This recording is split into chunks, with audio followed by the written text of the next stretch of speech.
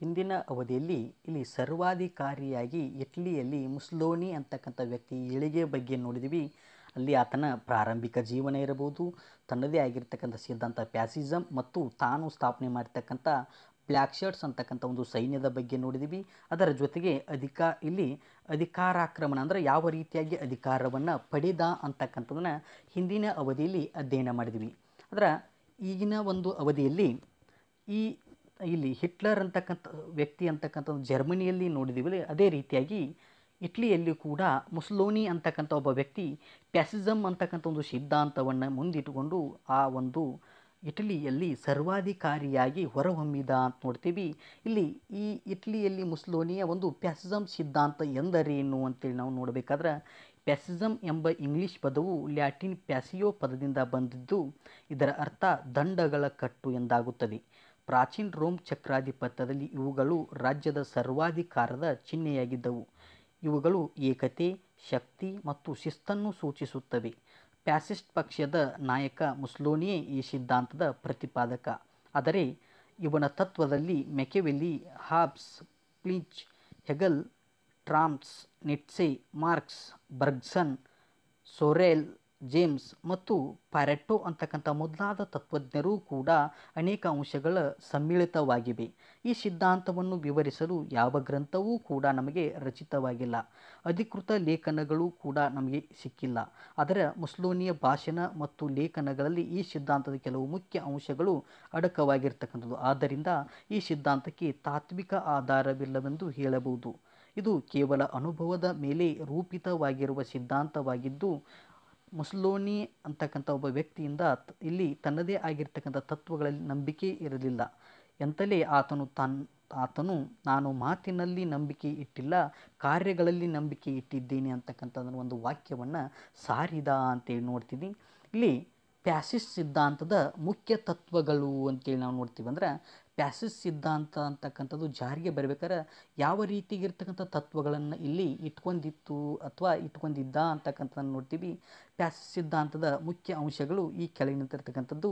ಇಲ್ಲಿ ಒಂದನೇದು ತತ್ವರಹಿತ ಸಿದ್ಧಾಂತ ಅಂತೇಳಿ. ಈ ಸಿದ್ಧಾಂತದಲ್ಲಿ ತತ್ವಗಳಿಲ್ಲ. ಈ ಸಿದ್ಧಾಂತಗಳಿಗೆ ತತ್ವಗಳಲ್ಲಿ ನಂಬಿಕೆಯೂ ಕೂಡ ಇರಲಿಲ್ಲ. ಗ್ರಂಥಗಳಿಗಿಂತ ಚಳುವಳಿಯೇ ಈ ಸಿದ್ಧಾಂತದ ಮೂಲಾಧಾರವಾಗಿದ್ದವು. ಮುಸ್ಲೋನಿ ಮತ್ತು ಆತನ ಹಿಂಬಾಲಕರು ಮ್ಯಾಜಿನಿಯ ಆದರ್ಶವಾದ ಸೊರೆಲನ ಕಾರ್ಯವಿಧಾನ, ನಿಟ್ಸೆ ಮತ್ತು ಹೆಗಲನ ರಾಷ್ಟ್ರೀಯವಾದ ಹಾಗೂ ಸರ್ವಾಧಿಕಾರ ತತ್ವ ಬರ್ಗ್ಸನ್ನನ ಬುದ್ಧಿ ವಿರೋಧವಾದ ಮೊದಲಾದವುಗಳನ್ನು ಕೂಡ ತಮಗೆ ಸನಿ ಎಣಿಸಿದಂತೆ ಬಳಸಿಕೊಂಡರು. ಸೆಬೈನ್ ಹೇಳಿರುವಂತೆ ಪ್ಯಾಸಿಸ್ಟ್ ವಾದದ ವಿಭಿನ್ನ ತತ್ವಗಳು ಬಹಳ ಚಮತ್ಕಾರವಾಗಿ ಸಮ್ಮಿಳಿತವಾಗಿವೆ ಅಂತಕ್ಕಂಥ ಮಾತನ್ನು ಕೂಡ ಇಲ್ಲಿ ನಾವು ನೋಡ್ಬೋದು. ಇನ್ನು ಎರಡನೇದಾಗಿರ್ತಕ್ಕಂಥ ತತ್ವ ವಾಸ್ತವಿಕತೆಯ ಆಧಾರ. ಅನುಭವ ಮತ್ತು ವಾಸ್ತವಿಕತೆಯೇ ಈ ಸಿದ್ಧಾಂತದ ಮೂಲಾಧಾರವೆಂದು ಪ್ಯಾಸಿಸ್ಟ್ವಾದಿಗಳು ಒತ್ತಿ ಹೇಳುತ್ತಾರೆ. ಮುಸ್ಲೋನಿ ಹೇಳಿರುವಂತೆ ಸಮತಾವಾದ ಆಧಾರ ಸಿದ್ಧಾಂತವಾದರೆ ವಾಸ್ತವಿಕತೆಯು ಪ್ಯಾಸಿಸ್ಟ್ವಾದದ ಆಧಾರವಾಗಿದೆ. ಆತನೇ ಹೇಳಿರುವಂತೆ ನಾವು ಖಂಡಿತ, ನಾವು ಖಂಡಿತವಾದಿಗಳು ವಾಸ್ತವಿಕ ಮತ್ತು ನಿಜವಾಗಿ ವರ್ತಿಸಬೇಕು.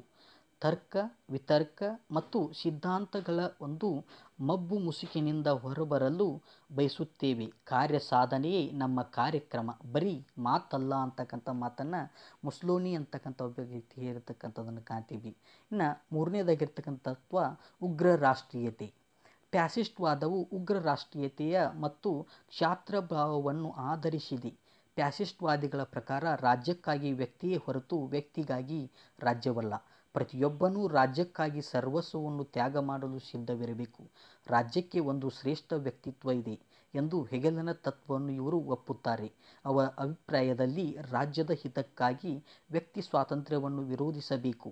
ರೇಡಿಯೋ, ಸಿನಿಮಾ, ಶಿಕ್ಷಣ, ಪತ್ರಿಕೆ ಮೊದಲಾದವುಗಳು ಕೂಡ ರಾಜ್ಯದ ಹತೋಟಿಯಲ್ಲಿರಬೇಕು ಮುಸ್ಲೋನಿ ಹೇಳುವಂತೆ ಪ್ರತಿಯೊಂದು ವಸ್ತು ರಾಜ್ಯಕ್ಕಾಗಿ, ರಾಜ್ಯಕ್ಕೆ ವಿರೋಧವಾದದ್ದೇನೂ ಇಲ್ಲ ಅಂತಕ್ಕಂಥ ಮಾತನ್ನು ಇಲ್ಲಿ ನಾವು ಉಗ್ರ ರಾಷ್ಟ್ರೀಯತೆಯಲ್ಲಿ ಕಾಣ್ತೀವಿ. ಇನ್ನು ನಾಲ್ಕನೇದಾಗಿರ್ತಕ್ಕಂಥ ತತ್ವ, ರಾಜ್ಯದ ಸರ್ವಸ್ವಾಮ್ಯ ಸ್ವರೂಪ ಅಂತೇಳಿ. ಪ್ಯಾಸಿಸ್ಟ್ವಾದಿಗಳು ಸರ್ವಸ್ವಾಮ್ಯ ಸ್ವರೂಪದ ರಾಜ್ಯವನ್ನು ಬೆಂಬಲಿಸುತ್ತಾರೆ. ಪ್ರಜಾಪ್ರಭುತ್ವ ಮತ್ತು ಜನತಾ ಪರಮಾಧಿಕಾರವನ್ನು ಇವರು ವಿರೋಧಿಸುತ್ತಾ, ಅವರ ಪ್ರಕಾರ ಸಾಮಾಜಿಕ, ಆರ್ಥಿಕ, ಧಾರ್ಮಿಕ, ಶೈಕ್ಷಣಿಕ ನೈತಿಕ ಇವೇ ಮೊದಲಾದ ವ್ಯಕ್ತಿ ಜೀವನದ ಪ್ರತಿಯೊಂದು ಕ್ಷೇತ್ರದಲ್ಲಿಯೂ ಕೂಡ ಪ್ರವೇಶಿಸಲು ರಾಜ್ಯಕ್ಕೆ ಹಕ್ಕಿದೆ. ರಾಜ್ಯ ಮತ್ತು ಸಮಾಜದ ನಡುವೆ ಯಾವ ವ್ಯತ್ಯಾಸವೂ ಕೂಡ ಇಲ್ಲ. ಅವೆರಡೂ ಪರ್ಯಾಯ ಪದಗಳು. ಪ್ಯಾಸಿಸ್ಟ್ವಾದಿಗಳ ಮಂತ್ರ ಎಲ್ಲವೂ ರಾಜ್ಯಕ್ಕಾಗಿ. ರಾಜ್ಯಕ್ಕೆ ವಿರೋಧವಾದದ್ದೇನೂ ಇಲ್ಲ. ರಾಜ್ಯದ ಹೊರಗೆ ಏನೂ ಇಲ್ಲ. ರಾಜ್ಯವೇ ಸರ್ವಸ್ವ ಅಂತಕ್ಕಂಥದ್ದನ್ನು ಕೂಡ ನಾವು ಇಲ್ಲಿ ಕಾಣಬಹುದು. ಇನ್ನು ಐದನೇದಾಗಿರ್ತಕ್ಕಂಥ ತತ್ವ ಸಾಮ್ರಾಜ್ಯ ಪದ್ಧತಿ ಮತ್ತು ಯುದ್ಧಕ್ಕೆ ಬೆಂಬಲ. ಸಾಮ್ರಾಜ್ಯ ಪದ್ಧತಿ ಮತ್ತು ಯುದ್ಧವನ್ನು ಆಧರಿಸಿರುವ ಪ್ಯಾಸಿಸ್ಟ್ ವಾದವು ವಿಶ್ವಶಾಂತಿಗೆ ವಿರುದ್ಧವಾಗಿದೆ. ಮೊನೊರ್ಕಾಲಿಯು ಹೇಳಿರುವಂತೆ ಫ್ಯಾಸಿಸ್ಟ್ ಸಿದ್ಧಾಂತವು ಯುದ್ಧದಿಂದ ಹುಟ್ಟಿದೆ. ಅದರ ಪ್ರದರ್ಶನಕ್ಕೆ ಯುದ್ಧ ಅತ್ಯವಶ್ಯಕ. ಹೀಗೆ ಇದು ಯುದ್ಧವನ್ನು ಪ್ರೋತ್ಸಾಹಿಸುತ್ತದೆ ಎಂತಲೇ ಸ್ತ್ರೀಯರಿಗೆ ಮಕ್ಕಳನ್ನು ಹೆರುವುದು ಸ್ವಾಭಾವಿಕವಾಗಿರುವಂತೆ ಪುರುಷರಿಗೆ ಯುದ್ಧ ಸ್ವಾಭಾವಿಕ ಎಂದು ಮುಸ್ಲೋನಿ ಹೇಳಿರು, ಹೇಳುತ್ತಿದ್ದನು. ಇನ್ನು ಆರನೇದಾಗಿರ್ತಕ್ಕಂಥ ತತ್ವ ಪ್ರಜಾಪ್ರಭುತ್ವಕ್ಕೆ ವಿರೋಧ. ಫ್ಯಾಸಿಸ್ಟರ ಪ್ರಕಾರ ಪ್ರಜಾಪ್ರಭುತ್ವವು ಬಹಳ ಕೆಟ್ಟ ಪದ್ಧತಿ. ಕೆಟ್ಟ ಪದ್ಧತಿ. ಪ್ರಜಾಪ್ರಭುತ್ವವು ಕೊಳೆತ ನಾರುತ್ತಿರುವ ಹೆಣವಾಗಿದೆ. ಒಟ್ಟಿನಲ್ಲಿ ಪ್ಯಾಸಿಸ್ ಸಿದ್ಧಾಂತವು ವ್ಯಕ್ತಿವಾದ, ಉದಾರವಾದ, ಸಮಾಜವಾದ ಹಾಗೂ ಪ್ರಜಾಪ್ರಭುತ್ವಕ್ಕೆ ವಿರೋಧವಾಗಿತ್ತು. ಇನ್ನು ಏಳನೇದಾಗಿರ್ತಕ್ಕಂಥ ತತ್ವ ಸಂಸ್ಥಾ ಸ್ವರೂಪದ ರಾಜ್ಯ. ಮುಸ್ಲೋನಿಯು ಇಟಲಿಯನ್ನು ಸಂಸ್ಥಾರೂಪದ ರಾಜ್ಯವನ್ನಾಗಿ ಪರಿವರ್ತಿಸುವ ಮೂಲಕ ಕಾರ್ಪೊರೇಟ್ ರಾಜ್ಯದ ಮೂಲ ಸೂತ್ರಗಳು ಈ ರೀತಿಯಾಗಿವೆ.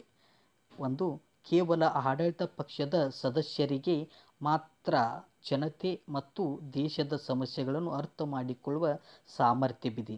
ಆ ಪಕ್ಷವೇ ಯಾವುದಪ್ಪ ಅಂದ್ರೆ ಪ್ಯಾಸಿಸ್ಟ್ ಅಂತಕ್ಕಂಥದ್ದು ಅಂತೇಳಿ ನಾವು ನೋಡ್ತೀವಿ.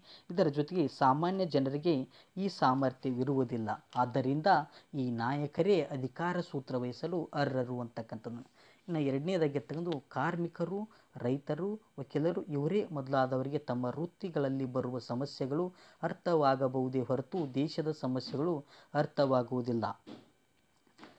ಈ ಕಾರಣದಿಂದ ರಾಷ್ಟ್ರದ ಆರ್ಥಿಕ ವ್ಯವಸ್ಥೆಯು ಸಂಪೂರ್ಣವಾಗಿ ಕಾರ್ಪೊರೇಟ್ ರಾಜ್ಯದ ಹತೋಟಿಯಲ್ಲಿರಬೇಕು ಅಂತಕ್ಕಂಥದ್ದನ್ನು ಕೂಡ ಇಲ್ಲಿ ಇಟ್ಲಿಯಲ್ಲಿ ಇರ್ತಕ್ಕಂಥ ಮುಸ್ಲೋಣಿ ಹೇಳ್ತಕ್ಕಂಥದ್ದು. ಇನ್ನು ಒಂಬತ್ತನೇ ಒಂದು ತತ್ವ ಅಂದ್ರೆ ಏಕಪಕ್ಷಕ್ಕೆ ಮನ್ನಣೆ. ಮುಸ್ಲೋನಿ ನಾಯಕತ್ವದ ಇಟಲಿಯು ಏಕಪಕ್ಷದ ರಾಜ್ಯವಾಗಿತ್ತು. ವಿರೋಧ ಪಕ್ಷವನ್ನೆಲ್ಲ ರದ್ದುಗೊಳಿಸುವ ಮೂಲಕ ಸಂಪೂರ್ಣ ರಾಜ್ಯಾಧಿಕಾರವೆಲ್ಲವೂ ಮುಸ್ಲೋನಿಯ ಮುಖಂಡತ್ವದಲ್ಲಿ ಪ್ಯಾಸಿಸ್ಟ್ ಪಕ್ಷಕ್ಕೆ ಮಾತ್ರ ಸೇರಿತ್ತು ಅಂತಕ್ಕಂಥದ್ದನ್ನು ಒಂದು ಇಲ್ಲಿ ಮನ್ನಣೆ ಕೊಡುವ ಮೂಲಕ ಇಲ್ಲಿ ತಮ್ಮದೇ ಆಗಿರ್ತಕ್ಕಂಥ ಪ್ಯಾಸಿಸ್ಟ್ ಪಕ್ಷಕ್ಕೆ ಮಾತ್ರ ಮನ್ನಣೆ ನೀಡಿದರು ಅಂತೇಳಿ ನಾವು ಕಾಣ್ಬೋದು. ಇನ್ನು ಒಂಬತ್ತನೇದು ಒಂದು ತತ್ವ ಅಂದ್ರೆ ನಿರಂಕುಶ ಪ್ರಭುತ್ವ ಪ್ಯಾಸಿಸ್ಟ್ ರಾಜ್ಯವು ನಿರಂಕುಶ ಪ್ರಭುತ್ವಕ್ಕೆ ಅವಕಾಶ ಕೊಡುತ್ತದೆ. ಸರ್ಕಾರದ ನೀತಿಗಳನ್ನು ಟೀಕಿಸಲು ಯಾರಿಗೂ ಅಧಿಕಾರವಿರುವುದಿಲ್ಲ. ರಾಜ್ಯದ ರಕ್ಷಣೆ ಹಾಗೂ ವಿರೋಧಿಗಳ ದಮನಕ್ಕೆ ಗುಪ್ತ ಪೊಲೀಸ್ ಪಡೆಯ ವ್ಯವಸ್ಥೆ ಮಾಡಲಾಗಿತ್ತು. ಏಕಪಕ್ಷದ ಮೇಲೆ ನಾಯಕನ ಸರ್ಕಾರವಿತ್ತು. ಪ್ಯಾಸಿಸ್ಟ್ ರಾಜ್ಯದ ಮುಖ್ಯ ಲಕ್ಷಣ ಏಕಪಕ್ಷ, ಏಕನಾಯಕ ಅಂತೇಳಿ ಇಲ್ಲಿ ನಿರಂಕುಶ ಪ್ರಭುತ್ವದಲ್ಲಿ ಇಲ್ಲಿ ಮನ್ನಣೆಯನ್ನು ಕೊಡುವ ಮೂಲಕ ಇಲ್ಲಿ ತನ್ನ ಪ್ರಭುತ್ವವನ್ನು ಸಾಧಿಸಿದ ಅಂತೇಳಿ ನಾವು ಮುಸ್ಲೋನಿಯ ಬಗ್ಗೆ ಕಾಣ್ತೀವಿ.